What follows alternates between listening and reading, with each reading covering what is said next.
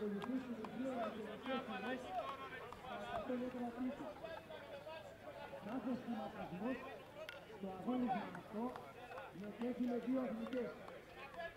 Οι δύο πρώτοι από κάθε ημιτελική σειρά θα καθορίσουν και την τελική τετράδα.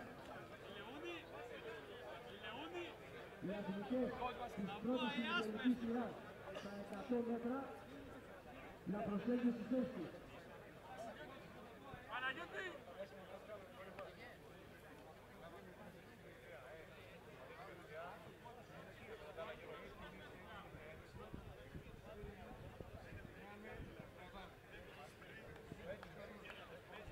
Το αγώνισμα της Ελπιστίδας, μια ομάδα θεωρείται κερδισμένη όταν ο βακτήριος του ορίου της αντίπαλης ομάδας φτάσει στη γραμμή κέντρου.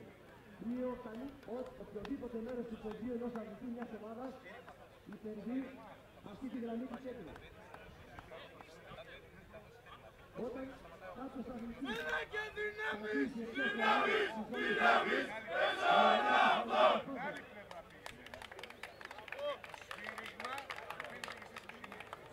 Ισόπαλες θεωρούνται δύο ομάδες όταν σε χρόνο δύο λεπτών δεν επιτύχουν αποτέλεσμα. Αναλάβατε, αναλάβατε. Απαγορεύεται ακόμα η αθλητική να κάνουν τρίτο στο έδαφος πριν ξεκινήσει ο αγώνας.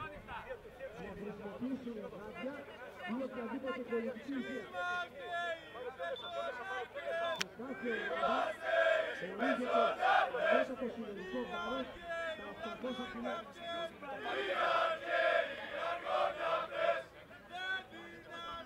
Παρακολουθούμε τα αγώνα μεταξύ της 72 μεταφερόμενης ταξιαρχίας και της 42 ταξιαρχίας των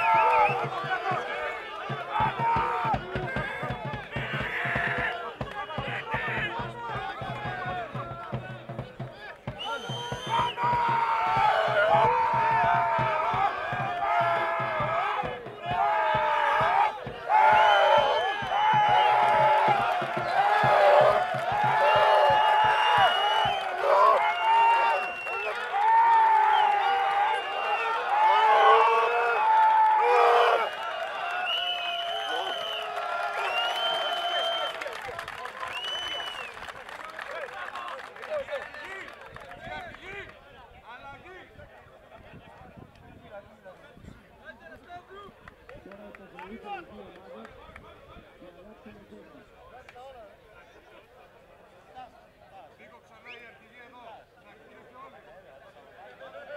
ομάδα κερδίζει τον αγώνα όταν κερδίζει στις δύο από τις τρεις εμφάσεις.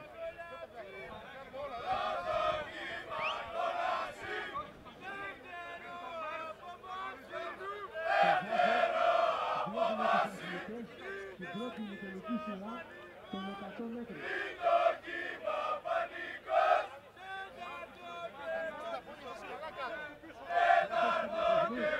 Στο αγώνισμα των 100 μέτρων κλείτου συμμετέχει με δύο αθλητές.